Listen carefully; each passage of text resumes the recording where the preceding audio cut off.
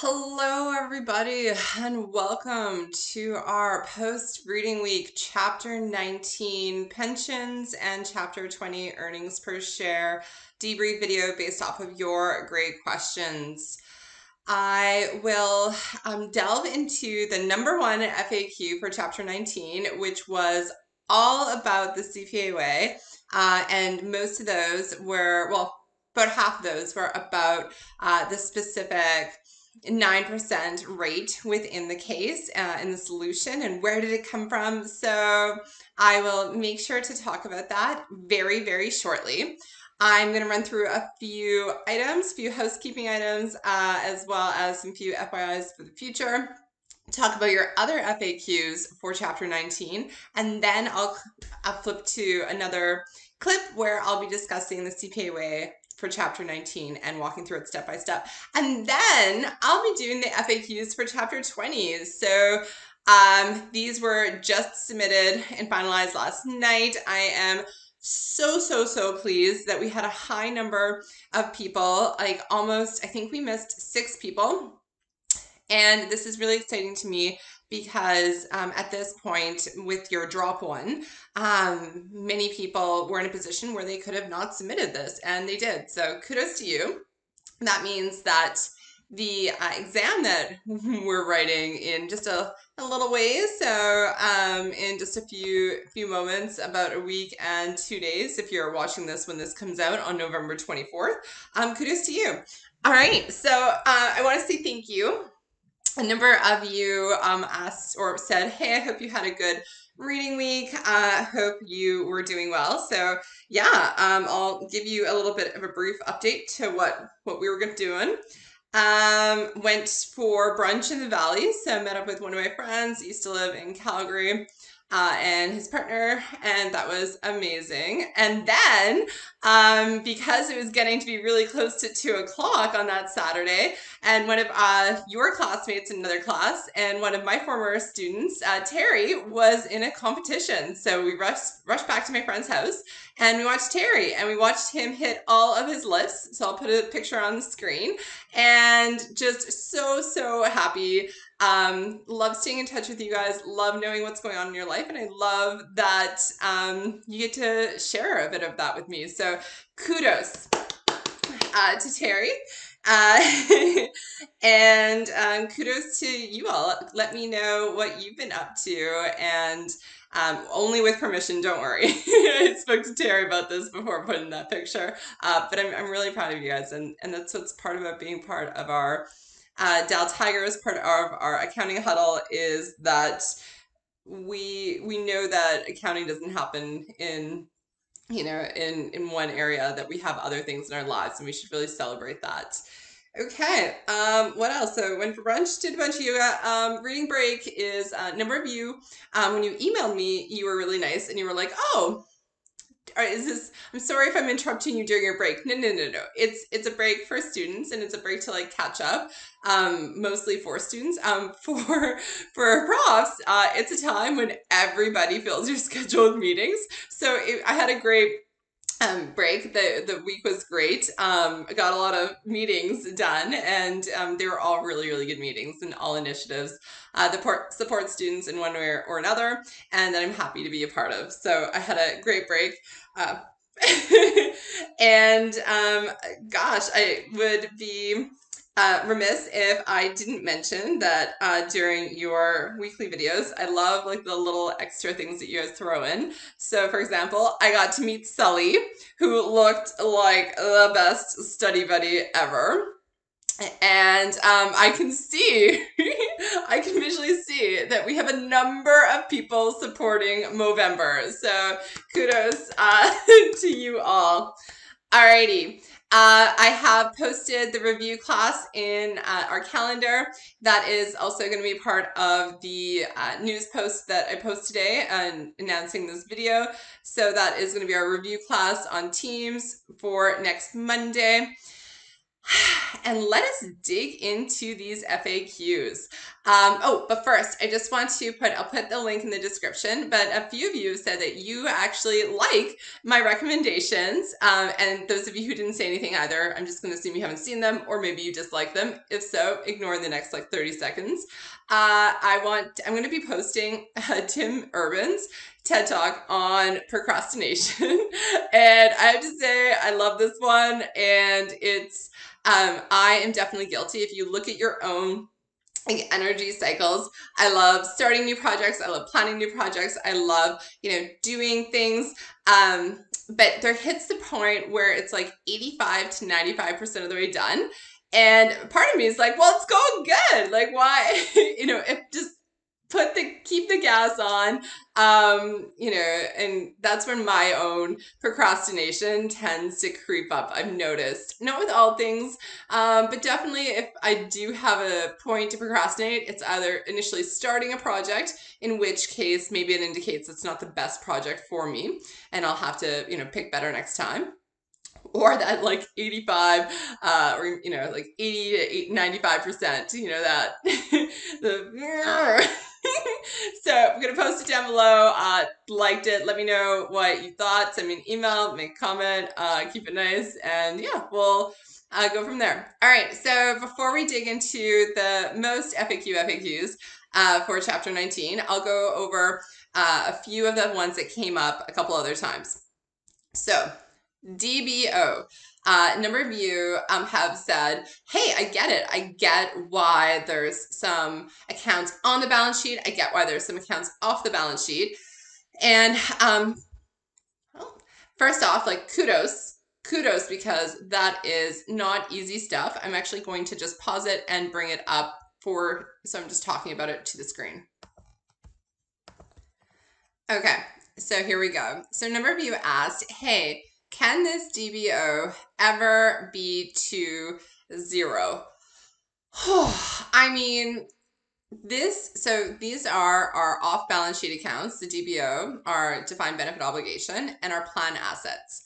And then from this, this is our on balance sheet accounts, our pension expense in our income statement, our OCI if we are in IFRS, our cash, and then our net defined benefit liability or net de defi- net, pardon me, uh, defined benefit asset. So this net DBA, DBL is a sum of the DBO, which is a negative because it's a liability, past, present, future. Um, we owe people money in the future, these future retirees, based off of a past event. We hired them.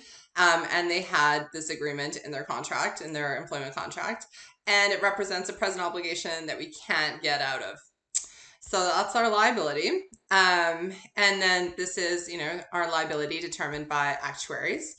And then our plan assets. So each year, each month, each time, uh, we send money, we the company send money to the plan assets. The employee might send money to the plan assets as well, and they're held by a third party. Okay, so then the net of this negative and this positive equal the net DBL DBA. So somebody asked, hey, can this DBO ever be zero? So I would ask you, uh, could there ever be a time when the DBO would be zero? Sure. If we no longer had a liability. And if we no longer had a liability, the one kind of easier uh, time or instance that kind of comes to mind is when uh, we no longer have a DB pension. So we may have a case where we no longer have a DB pension. Um, everybody has uh, retired and is no longer receiving benefits. So you know, retired and died, or uh, or they agreed to no longer uh, receive any pension money, or maybe excuse me, the pension was in such dire straits. They're like, hey, cool, we have like five years left of pension. Um, they took a lump sum payout in cash for the rest of it after the five years um, their new agreement, you know, was done. So there's no longer a liability on that part. And then there might still be some plan assets left. So yeah, this DBO, it could be at one point, at some point zero, if there was no longer a liability. Uh, you know, that would be that would be absolutely um, the case. And but it would take a while to get there. Let me give you an instance. So I worked at ATCO back in Calgary. Big, big, big, huge uh, billions of dollars uh, in, oh, I'm going to get it wrong, but they had a D, uh, DB pension. And then in, I believe it was the mid 90s, so well before I went there, uh, they uh, offered to people to give them a buyout and to switch to a DC, a defined contribution pension plan. So give them a buyout or give them lump sums or um, sorry, a buyout, meaning they take like a bigger portion of the defined benefit, you know, present value and put it into their defined contribution pension plan. Um, there's some other things. So while we've been talking a lot about why people like defined benefit, hey, the risk is on the company. Um, the other the other thing is you have to stay with the company, like to really make it worth it. So uh, I have a DB pension at Dal right now, so I'm very fortunate in the sense that it's it's something unique to very few sectors, uh, and even within education, um, relatively excuse me unique. So it really only pays off if uh, the people investing our money know know what they're doing and that I stay until retirement, and that uh, the formula within there, which I did check, it's it's pretty good, um, is is reflective um, of like the last few years of your average working income. So, but what people don't necessarily understand is that if you're going to leave, like if you're the kind of person that leaves jobs every three to five years, it um, the the value as an employee is really um, back end like back end loaded. So when in the mid 90s, when they offered people at ATCO to switch from DB to DC, a lot of them liked the idea, hey, I can I can actually choose what I invest in because the employer defines the contributions. And then um, they had a, a, wide bucket of assets that the employee could choose from. So if they were more, you know, risk averse, they could make it more safe. And if they were more, you know, risky, they could um, they could take on uh, more equities or you know, more volatility within their portfolio. Um, also, if they were planning on leaving, um, that made perfect sense to them too. So, in theory, um, this DB could have gone to all zero at that time if every single employee chose to switch to the, D- the DC uh, pension plan. That wasn't the case. I think I heard something that it was about 40 60. Uh, so 40% of the employees at the time switched to the defined contribution plan. And so if you think about it, mid 90s, that is a long time ago now. Uh, there are still people that are alive. So people that were working, and um, some people just retired actually. Um, or, you know, I know that like my mentor, he will be, um, or he's eligible to retire now. He's fairly, like, fairly young. He's in his 50s with a defined um, benefit pension plan and he's healthy and you know knock on um, will will be a db um, receiving recipient for a long long time to go so yeah unless it's like really a specialty agreement or a stop and then like 100 years in the future uh, this thing's going to be kicking around for a while great question okay so that also leads us to why would a company choose a db versus a dc Okay, well, this is a part. So we really talk about post employment benefits. And so we really focus on the post employment being the DB or the DC, defined benefit or defined contribution pension plan. But what we haven't talked about there is benefit. So we as an as a company want people to come work with us and we want them to be working for us and working really hard so our company makes a lot of money.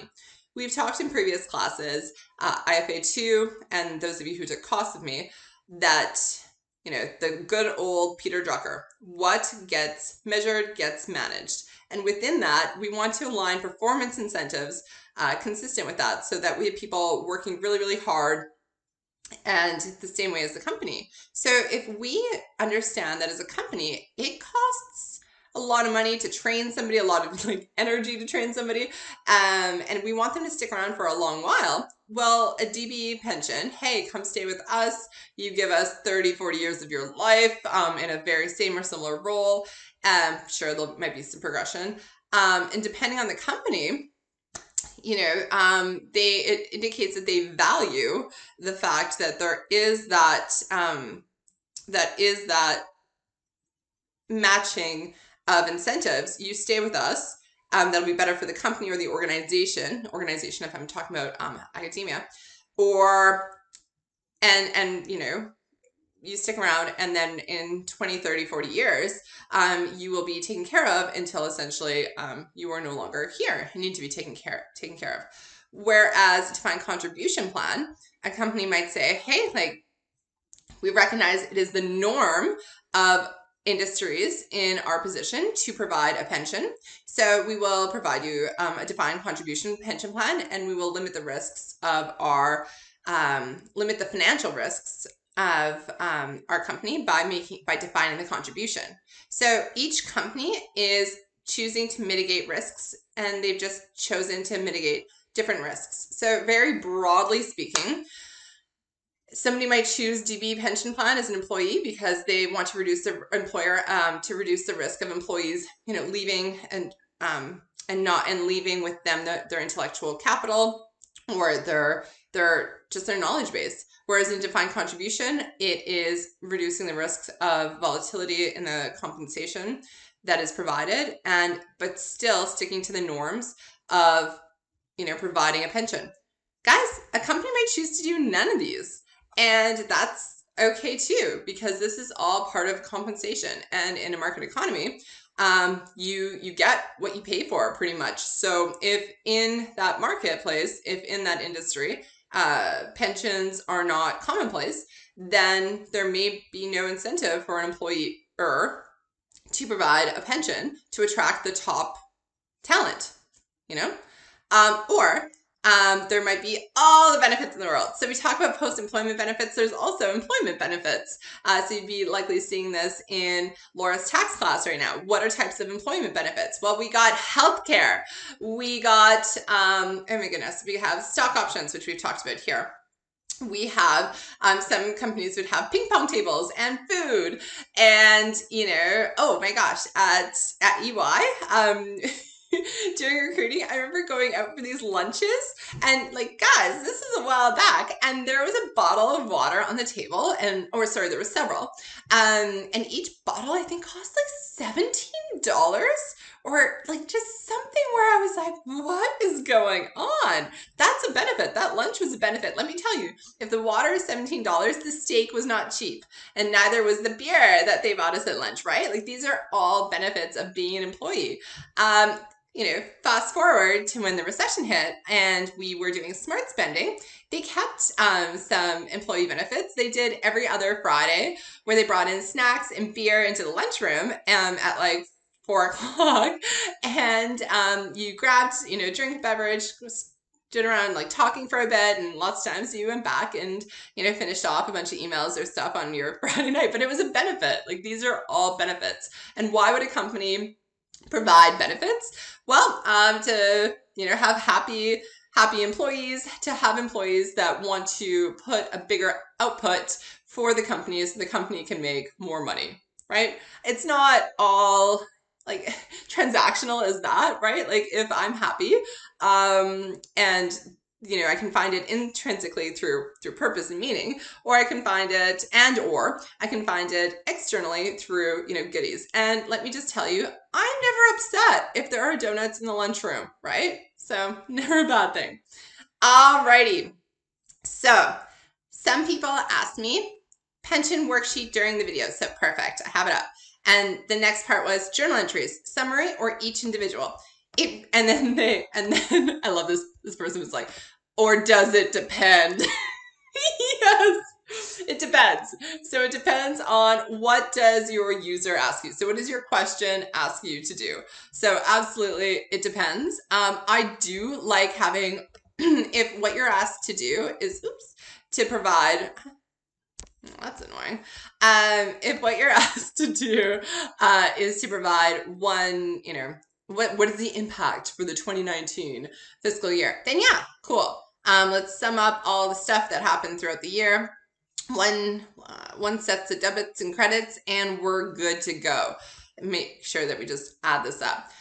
Now, if we're wondering, hey, what is the impact of the past service cost uh, for, um, and they give you like a sentence, some case facts, well, then what we're looking for is that impact for that one line.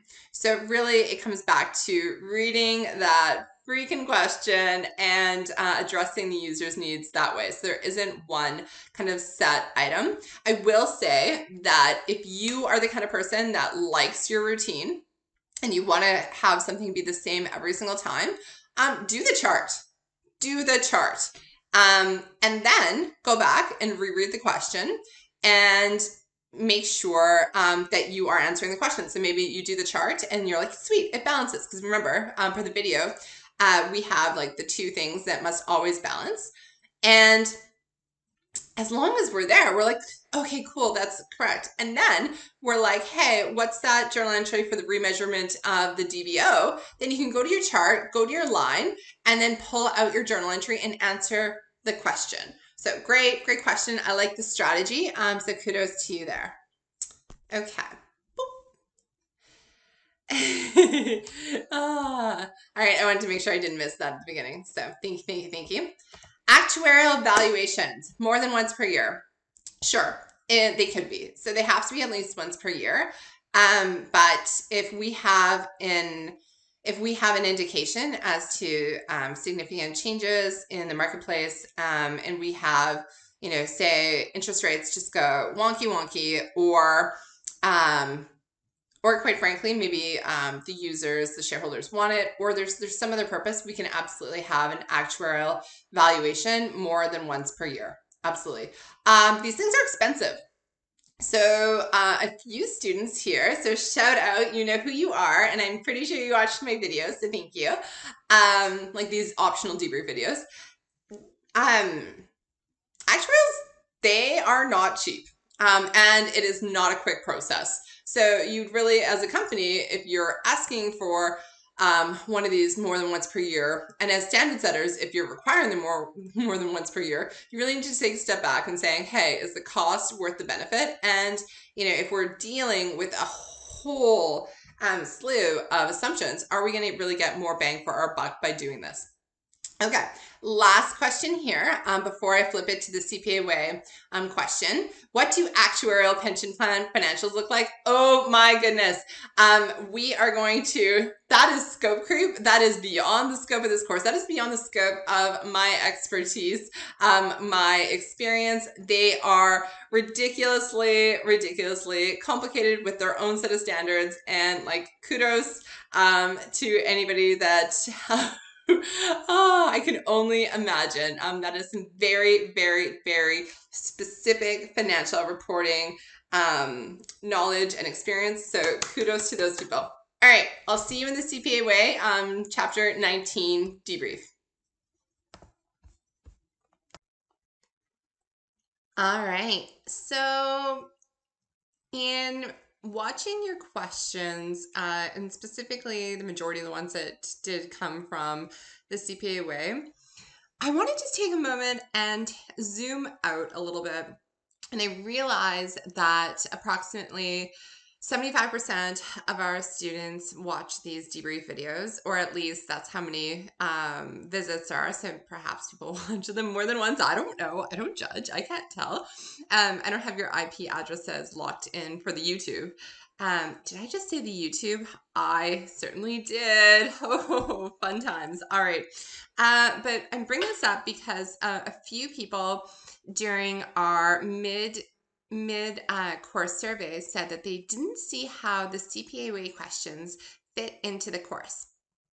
And likely, um, and I thought I addressed this in a previous video, and I think I did, but I don't know. I'd like to repeat myself a few times because I find that, you know, learning is repeated exposure to same or similar topics, including um, why something is beneficial. So the reason I had these as completion assignments is because I don't wish to be punitive, but I do wish to stretch you. Um, one of the students was um, at work at his co-op job and said that he had to submit a case, and this was in the first week of classes. And he's like, Yeah, I have to submit a CPA case. And the person was like, What? His manager was like, I mean, that's good, but like, man, it's first week of fourth year. That is no joke. No, it is no joke. Uh, the thing is, people, when I left university, and even uh, moments, uh, most moments, when I left um, my first, my articling job uh, when I was a CA, I didn't know what I knew. Um, so I'm really grateful that I had people around me to put in mechanisms in place to, and I don't want to say trick me to learn, but in a way, yeah, I had to focus on executing and doing my best, but I didn't always know how this would fit in um, to other places. So if you are skeptical, always that's good. Absolutely question. And if i am not able to frame or communicate i keep asking. Email me uh, book some calendly office hours. Happy to talk. I want you to know because um, i do put great care and attention into planning and then uh, great care and attention uh, with our team into executing. So absolutely absolutely um, i'm here for that. I'm here for you and to have that discussion. Um, people in the real world um, and even in uh, education world things are going to be thrown at you and you are smarter than you know you are. Um, one of the students asked how can they do better at the cpa, CPA way completion assignments of these submissions? How can i best prepare? Taking notes from the get-go. So when you're doing your smart smart book pre-work you know, take notes. What are you struggling with? What do you know? Like, just, you know, start summarizing your one page summaries for each chapter. That's the goal. If you go a little bit over, figure out what to cut out later. But I don't want you having to redo pre work. I don't want you having to rewatch all the videos, maybe a few key things or maybe a few repetition, but keep your summary notes and keep adding to them. Next, the videos, same thing. You get an MCQ question wrong after just watching the video. Cool. Why? It's fine if it's wrong in fact, I'm going to link down below to another TED Talk. I don't know, two two for one day apparently uh, for gamification. And yes, I know that there is a lot at stake here. This is real life, but we can play we can play real life. We can do real life, and we can gamify it, and we can have that learning mindset. Um, and and so what what do I mean by that? I mean that hey, look at this as an opportunity to take a summary of all the things that you've learned or could have learned and then start reading and start saying okay how can i problem solve this? How can i like what is in one um one or two you know main items here? Let's assess the situation um, if you, um, if your boss in, you know, you're at work and your boss is just yammering at you, and sometimes you're just like, what do they even want? You know, being able to assess the situation, be able to identify problems, huge life skill, huge. Then, okay, cool. We have that problem narrowed down what is our framework? How can we analyze this? Um, how do we, like, why is this an issue? Where are we going to start going? And then let's solve it. Let's use that framework. Let's solve it using our tools, our technical tools, and let's put it into action. Sometimes we don't have all the information we need, and we might need to state our summary or use uh, an assumption. Absolutely a-okay. And then because we are Dal Tigers, because we are not okay with just answering the problem at hand, um, something that I I'm I'm very proud of this. I've obviously mentioned this several times, uh, but the moment I was overpaid for my first invoice, and I circled back to the person, I said, "Oh, I'm sorry. Like I think you overpaid me." This very very smart um, and uh, wealthy individual uh, said. I don't make mistakes. Um, I didn't overpay you. You earned every bit of that. Um, you talk to me. You are not condescending. You explain why you're doing things, and I value your contribution to my business. And like, wow, I I can promise you this. I did not do anything spectacular. But what I did do is I looked at the problem at hand and then I always tried my best to provide a little bit extra as far as insights. So, hey, what are the things that um, that maybe you should know or could know, but it doesn't appear that you do? And then how do we communicate that in an informative, non-condescending way?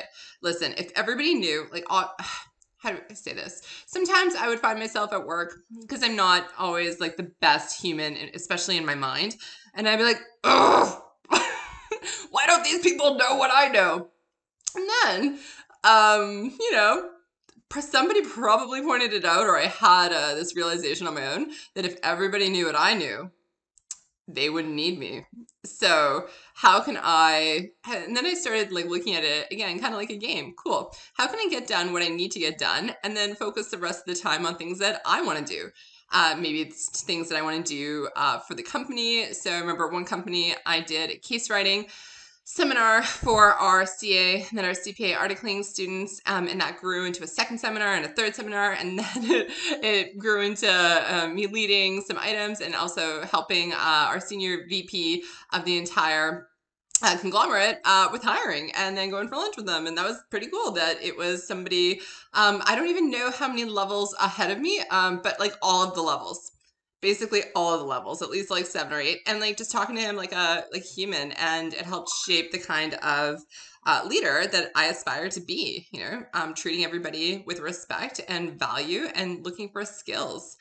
So, you know, and then other times I I did what I need to do for work, and then I focused on studying for my uh, accounting designation right? So anyways and then other times i did what i had to do at work and i you know worked a little slower and listened to a podcast. So you know here's here's the real deal. Um cool. Let's go through this bit by bit so i can explain a little bit more. Um so i did um most the questions came from really talking about where did this 9% come from so i'm going to spend the next little bit on talking about why it is okay um, the 9% was a discount rate that was assumed in value. So, some questions, a discount rate will be provided, and if it's provided, absolutely should be used. But in CPA and in CPA questions, uh, this is not always the case. In this specific question, it is um, entirely acceptable and correct to assume a value for discount rate as the impact of the time value of money is considered essential to the question given the time horizon at play. So if you assumed a value, awesome. If you assume 9%, whoa, get out of my head. Uh, but no, really, if you assumed anything kind of reasonable, well, what's reasonable? Well, let's, I, I don't really, it's hard to teach professional judgment, but I'll tell you what's not reasonable 1%. 1%? That does not um, reflect uh, the time value of money. Um, that is not even, or maybe it is now, the risk-free rate of return. But like that, that's not um, reflecting the fact um, like of a risk premium or or anything that we've ever kind of seen in this course. Neither is 20%. Um, 20% is a good rate if you're talking about like a corporate tax rate. But we have not yet seen um, sort of an interest rate um, being used of 20%. So what would have been kind of quote unquote reasonable? I don't know, for anywhere from like 4 to 5% up to maybe 12, 13%. Um, yeah, so stick stick above demonstrating competency. So knowing that it's going to be more than the risk-free rate of return, but less than, you know, small business tax rate of like 15% and you're probably good to go. So assume a tax rate and understanding that if you had used two separate, um, if you'd used two separate values, that would have also been appropriate. Uh, so the discount rate on the net defined liability, so that one that led to the interest calculation, would be um, about the yield rate on high quality corporate bonds. So again, showing that it's not risk free rate of return, but it's a pretty stable one. Um, and for the remeasurement, that can be the difference in assumptions about expected return and the actual rate of return um, from that yield on corporate bonds. So, due to real life imperfections and the fact that a corporate pension portfolio has a different set of components than a company's own corporate bonds, the actual rate of return that's earned is usually different um, from that of the um, the yield used on the uh, kind of the expected yield. So that difference between actual and expected creates the remeasurement gain or loss. Uh, so yeah, and if you had again assumed, I, I guess I just want to say that it's just important that you state your assumptions and that you're consistent, and that if you find CPA way questions um confusing or you find them difficult because there's you know every like single thing I say is it depends or is it reasonable or is it supported? Um, that's that's the point, and that's also the, why I made them as completion, right? Um, because it's important that you get practice in applying these so that you can take these out into the real world, whether or not you do accounting in CPA, do accounting in a master's, do accounting in your job, or don't do accounting at all.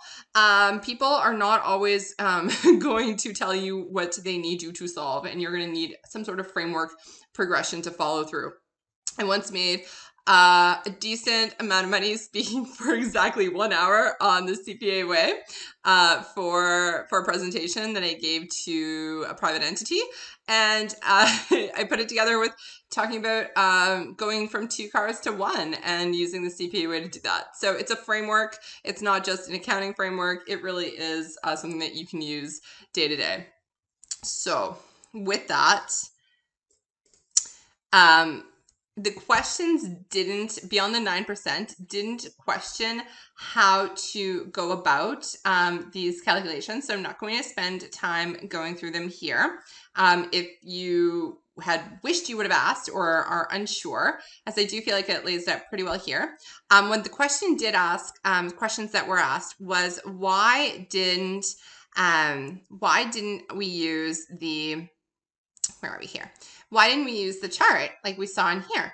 And the thing is, you absolutely can. So if you would um, appreciate using the chart instead of um, going through and, you know, kind of knowing, okay, what goes into that expense column. So this post-retirement benefit expense, what goes into this expense column.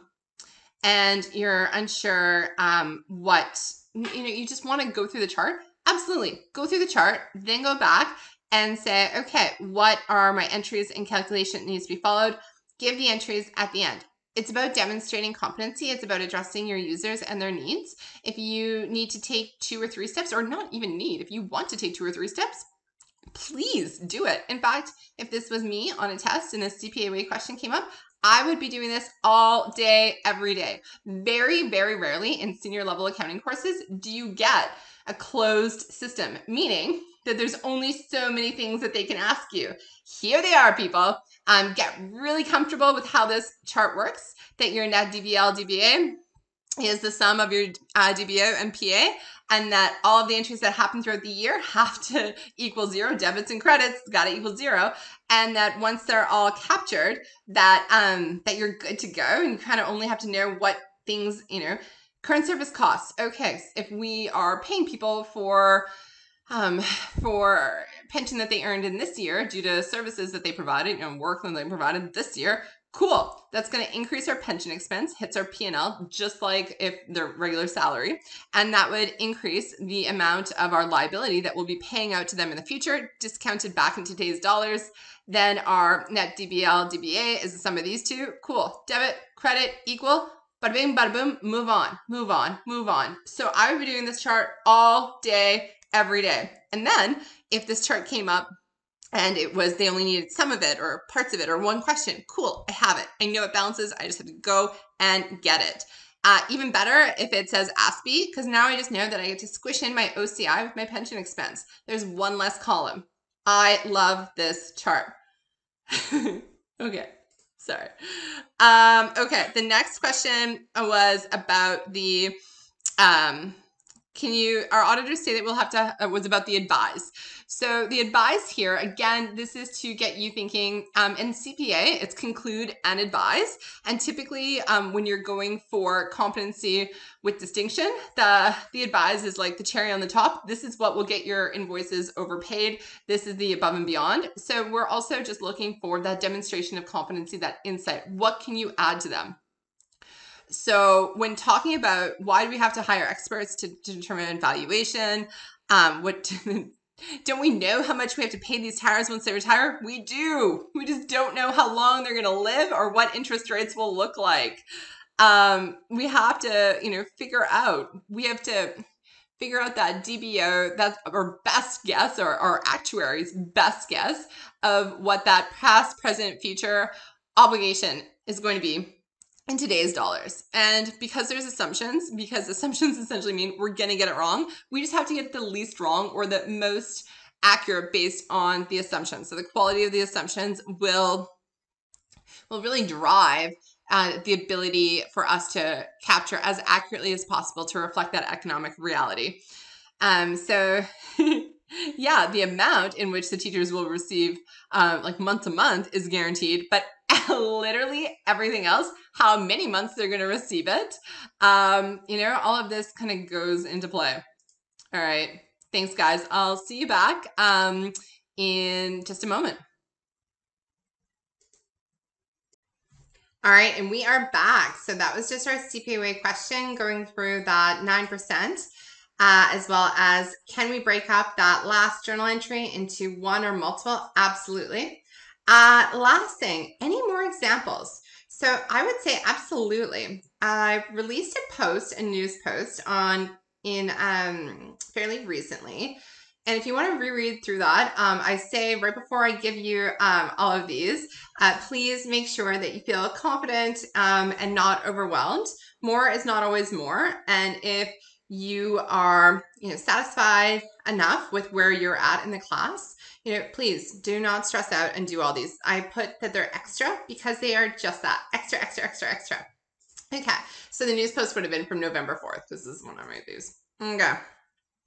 So if you want extra practice on pension each um, i'm going to go to after the multiple choice true false. So what i did is i well i don't think that you guys need extra practice based on how this course was built.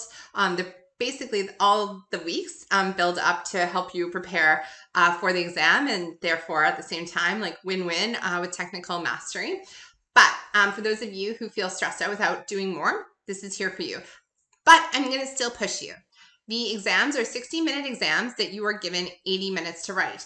As such, I have made each one of these equivalent to a 60 minute exam. So I would highly encourage you, even for the multiple choice questions uh, and true false, which won't occur on your exam, I'd encourage you to write these in 60 minutes because um, if you can do this and this and this and this in 60 minutes, then you should feel um, more confident with being able to do the test in the 80 minutes. And perhaps you're like, Sam, I can't do that. That's too much. Cool. Do the first couple in 80 and then do 60 or at least if you're only planning on doing a few of these which is fine it's not all or nothing um, do at least one in 60 minutes and really push yourself. I think you'll be amazed at how well you can do. Okay so coming back to the question any more pension questions? Absolutely. Each one of these has one pension one eps and one uh, counting estimates and changes. So chapters 19 20 and 21 in here. And each one of them are about 20, uh, 20 minutes. So sorry, in some questions might actually be two questions because it might be like two shorter questions put together, but all together will equal 60 minutes. Um, I particularly like, there's a few of these um, that have a few um, like kind of list type questions where it would directly reflect this, this. Um, and it would kind of say, it would give you an item and then ask you, it does it increase or decrease or both? So, you know, for example, uh, where are we? A remeasurement gain or loss. This could be an increase or a decrease, right? So anyways, I really like those because they're like quick fire, get you thinking and help you put together the entire picture again. And who knows, like I would probably draw out my, my little chart. It might feel like it takes more time, but if it's the same amount of time or a little bit more, but it gets you to the right answer, is that a bad thing? All right. Thank you guys so much. I will see you in part two uh, for our chapter 20 EPS discussion. Hello and welcome to chapter 20's debrief earnings per share. Alrighty, so had a number of requests for the CPA way, the whole thing. By the way, if you're like, Sam, you seem like you're sitting on the edge of your chair. I am. Bambi is um, is cuddled up right beside me. I'll put a picture of her um, of where she all usually sits while I am working, um, except for when I'm working at my desk like this, recording videos. There she is, like right here. So, anyways, without further ado, let's jump into the CPA way um, items. Okay, so coming here was asked. So, um, we first need to go through and determine what our individually dilutive instruments are. So things that could be PCS or potential common shares. And so things that weren't exercised throughout the year, uh, but could have been. So how bad, once we find out our earnings per share, what they actually were, then our diluted earnings per share is like, how bad could these earnings have been? What is the worst case scenario? If everything that could have made earnings per share look worse, if those were exercised or converted or were made to happen. Okay, so when we go through here, we always start with basic EPS.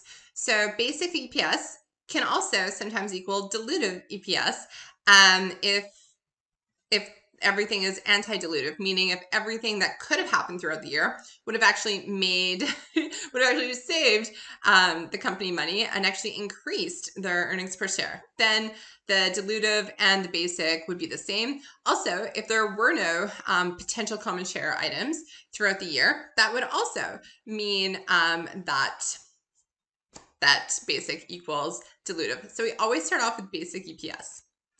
And here we got our basic EPS is equal to $4.60 simply by taking our net income and um, minusing our dividends from preferred shares because we need to have our net income after our preferred share dividends or, or net income after dividends. Um, and then that gives us our 46,000 divided by 10,000 shares equals our $4.60.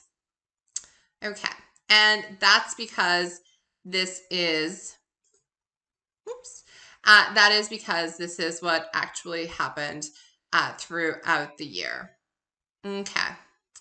So now, and this keeps being a little tricky because these dividends on preferred shares, these are convertible preferred shares. And um, if these weren't convertible um, preferred shares, then this is the last that we would see them is here in EPS. But because they are convertible into two common shares, we see them as part of our PCS, our potential common shares, which we need to factor for our uh, for our dilutive calculations or considerations. So here we have two items. Um, they, we were supposed to analyze them. So um, analyzing them could have meant um, if these were just preferred shares, um, maybe in the analysis, if they weren't convertible preferred shares, the uh, discussion would have been, you know, hey, um, these are not PCS because they're preferred shares and they're not convertible to common shares. Therefore, they do not impact, um, they're not PCS and they would not impact dilutive earnings per share. Cool. Um, but in this case, um, both of these are convertible into common shares, and then both of these could, um, but weren't, uh, during the year. So that means that they are PCS, potential common shares. Um, so we have to see if they had both been um, converted throughout the year, executed, and how bad could earnings per share have looked. Now, I want you to take a step back. Earnings per share. The goal is, as an investor, as a stakeholder, as a shareholder, you want these as big as possible because that means for every share that you own, like $4.60. That's how much of this company's, you know, after tax, after dividend net income is yours. Amazing. So you want this as big as possible, right? So your basic EPS is $4.60. Now, the diluted is to try to make this look as bad as possible. So if everything that could have impacted this to make it go worse, smaller, happened, what would it have looked like? So now we go through and we figure out what is the PCS, potential common share, impact for these 7% convertible bonds? Well, we have to take that, we have to look at the numerator and the denominator effect. So had these bonds being converted, we wouldn't have to pay interest. Okay, so how much interest would we have saved? Well, these are $200,000 worth of bond, right? 2,000, 200 bonds, um, $1,000 each, times by 7%. So we pay $14,000 in interest out. But interest is interest on debt, uh, and that is tax deductible. So we already had some tax savings of 25% right? So we only would have saved after tax a numerator impact of 10,500. Okay. And then these 200 bonds are convertible into 40 common shares. So that means that our denominator impact would be 8,000.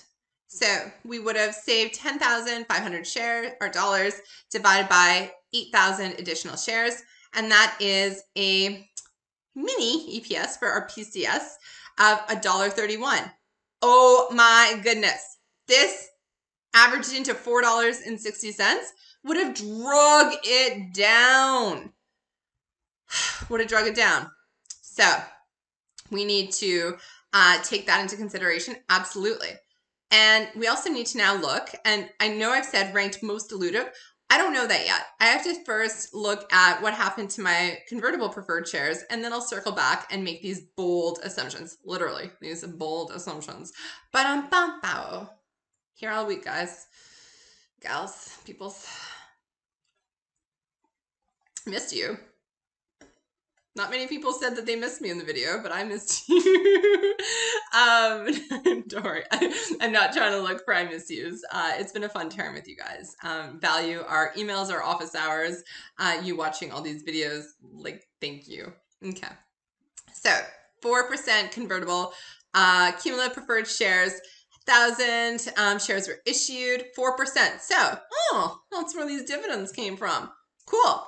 So convertible shares, um, divid- dividends that would have been avoided. So our numerator impact would be 4,000. We don't um, tax affect it because dividends are not tax deductible.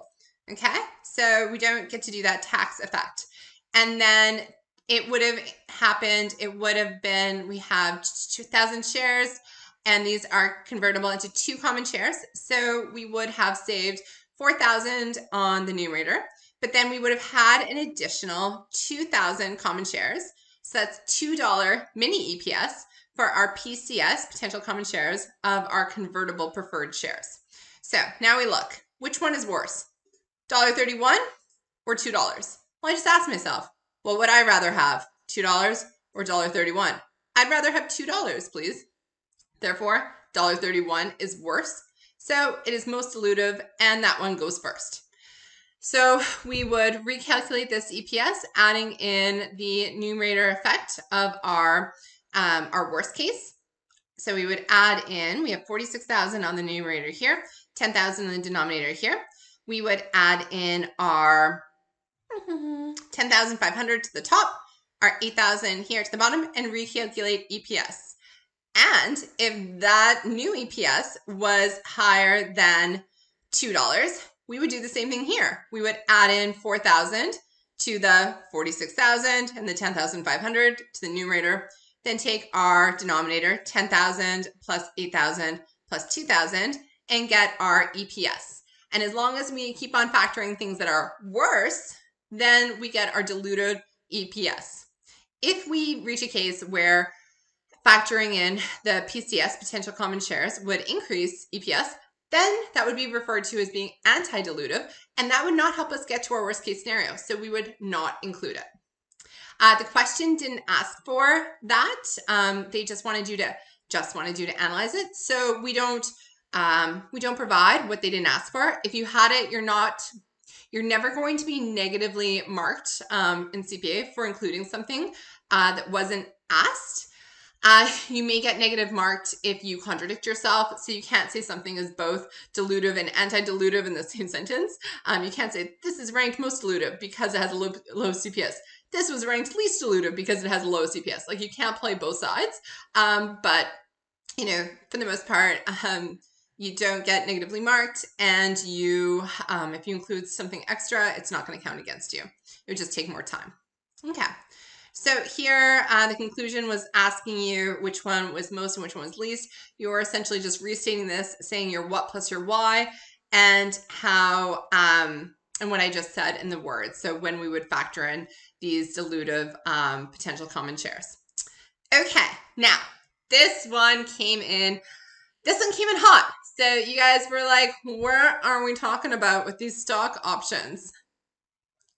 Um, the company is going to issue stock options, and one of the other accounts tells us that they are always dilutive no matter what.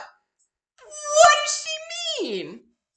Okay, so they're always going to be make it look worse because stock options have zero impact to your net income when talking about their PCS, their mini, um, their mini EPS. So when you issue stock options, uh, I don't want to com- complicate this, but if you think back to a previous chapter, when you issue stock options, that, you know, that Black-Scholes, that valuation of those stock options and as they're earned, yes, those will be reflected in your employee employees compensation and therefore impact your net income.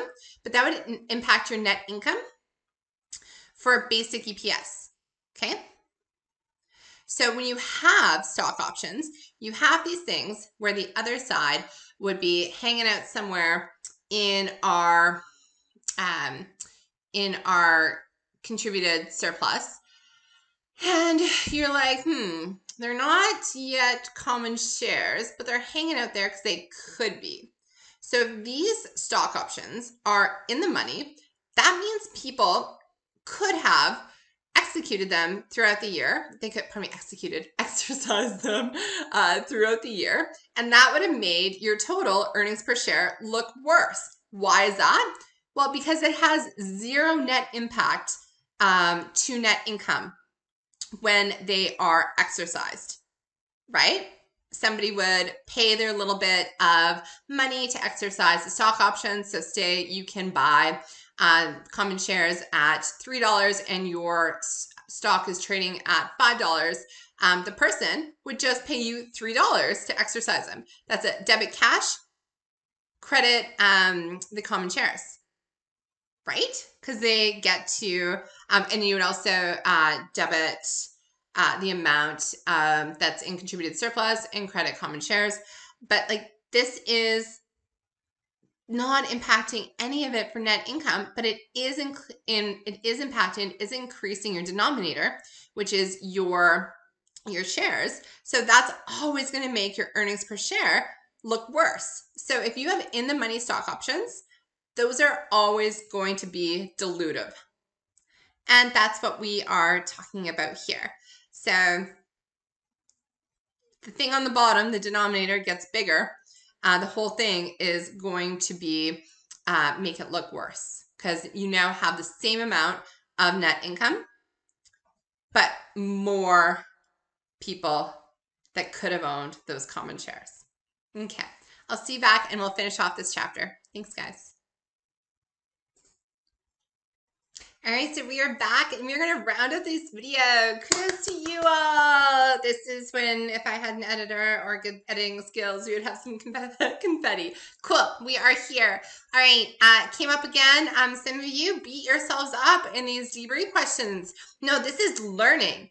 Um, and unfortunately, learning doesn't always feel good because we have high hopes and dreams for ourselves, but that's part of the process. I will tell you that the things that stick with me now, 10 years later, are the things that I did very poorly on the first time, but I stayed with it and I did it and I understood why I didn't get it right to begin with. And then they actually stick. Whereas the things that um, I got right away, I don't know. Sometimes they're there, sometimes they're not. So be kind to yourself. Remember, silly mistakes, they happen. Think about it as a game.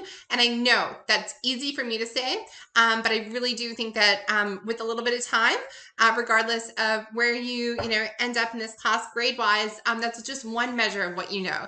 Uh, but the empowerment and the initiative and the drive and the understanding that you take going forward, that's another indicator of, of this class and of the things that you learned. And I know Not just saying this will be good for you or it's okay that it's tough. Um, I'm just saying it's um, based on feedback that I've heard from other students, based on my own experience.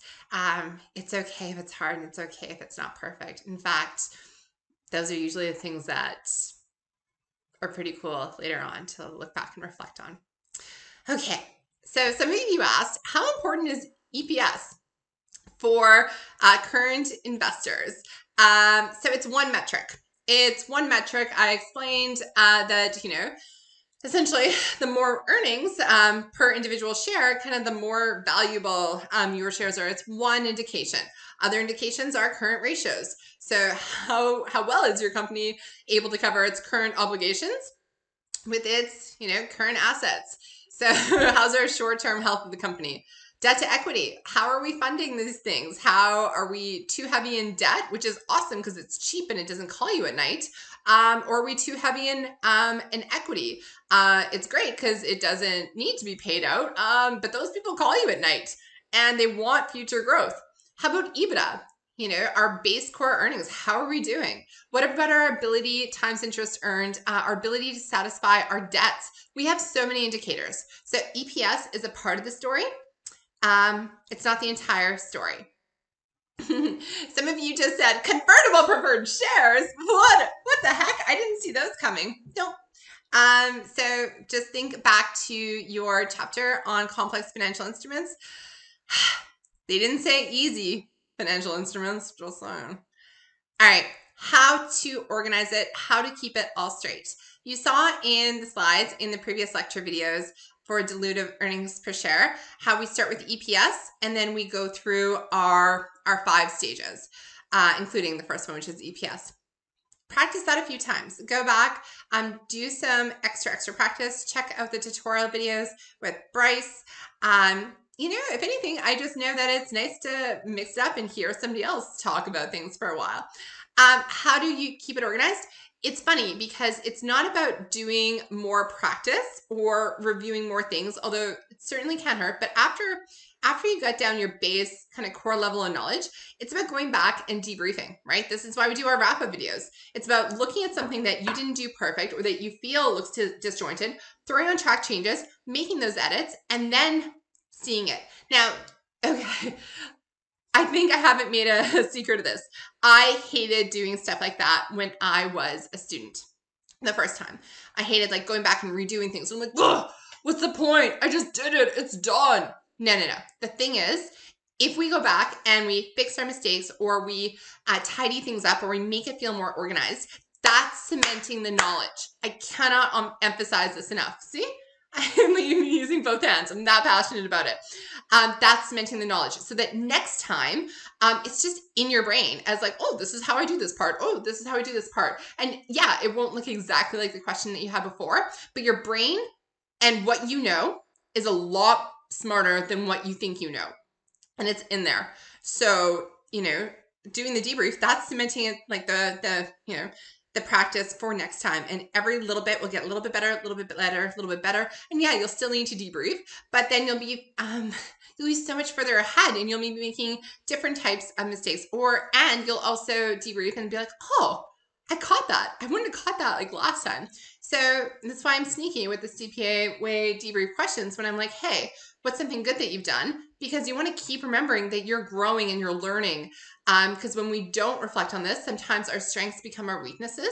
And sometimes we just feel like we're constantly looking at the negative when you guys have come so far. You have come so friggin' far, and I am proud of you. Thank you for your hard work. I love this. We have some very practical students why WACSO? Like, why do we have to do the weighted average for common shares outstanding? And why can't we just use the number at the end? Here's why. The short of it is people suck. Um, now let me explain.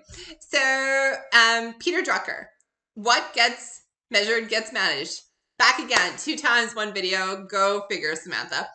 Uh, if we want to communicate to shareholders uh, what each one of their shares value is worth. We earned the income for net income over that entire year.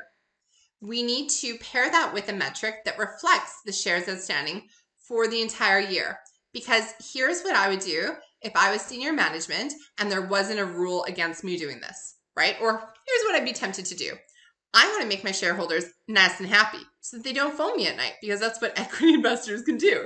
They can be like, Sam, dear gosh, like make us more money. Um, and so what I would do if there wasn't that WACSO requirement is at the uh, like December 29th, I'd go buy back a bunch of shares. Um, and then on January 1st, I would issue a bunch of shares.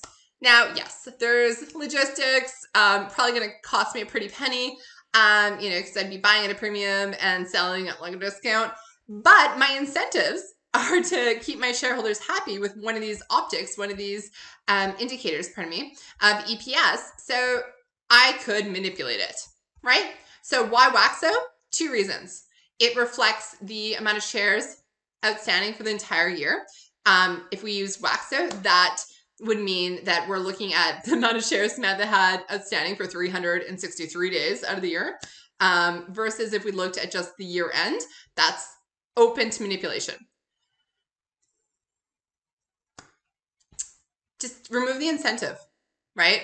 Um, I, I, could do several other videos or discussions about this. Feel free to book some office hours uh, now or during your break. Um, but I'm happy to talk about the importance of pairing up um, appropriate incentives with what you're actually um, trying the behavior um, that you're wanting to reflect. And the way that I just tend to think about this without thinking the worst about human nature is that WACSO reflects the amount of shares outstanding during the same period as the net income was earned. You gotta make sure the two economic realities um, reflect the same story. All right. So diluted over basic, can diluted shares ever, diluted EPS ever be higher than basic? Nope.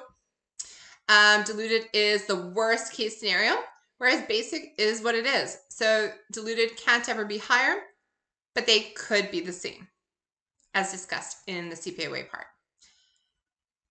Any activities companies may not want to engage in so that earnings can be as high as possible.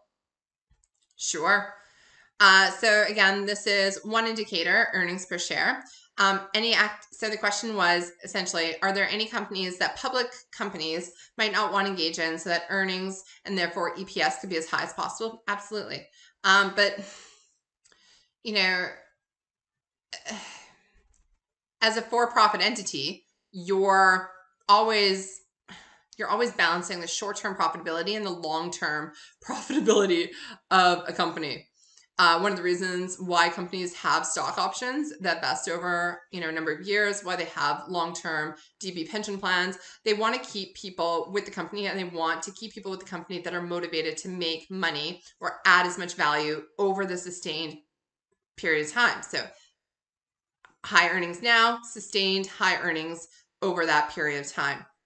So yeah, there's uh, lots of activities that companies might not want to engage in so that they don't reduce net earnings, so that they don't um, impact EPS. Um, if you had a specific question in mind, um, please uh, shoot me an email or um, put it in your next debrief video. Um, but absolutely, and I like where these thoughts are coming from because it's it's going beyond the materials, which is going to like the why behind it and how can the story be reflected. And a number of you, I've seen this with leases, I've seen this um, with a number of the other topics as well, is like integrating items that you saw on your work terms or maybe items that you've seen in the news and um, bringing them home here. Thank you. Thank you for investing in yourselves, in your hard work.